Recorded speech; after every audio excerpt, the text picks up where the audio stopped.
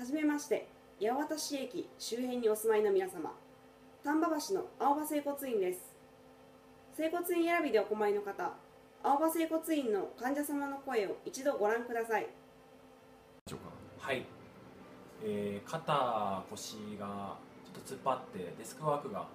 えー長かったのでちょっと気になってたんですけど、まあ、30分ほどあの見ていただきましてあのだいぶ軽くなりました。で、まあ、普段からの、まあ、こうストレッチとかやり方も教えていただいたので実践していきたいと思います。